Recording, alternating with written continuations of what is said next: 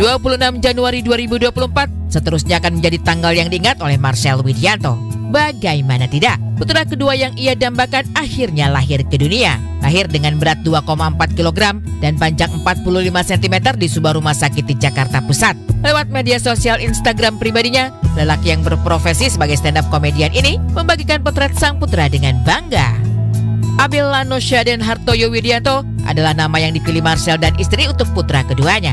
Dirinya pun tak menyematkan kata terima kasihnya pada sang istri tercinta yang telah menjaga sang putra dari masa kandungan hingga proses kelahirannya.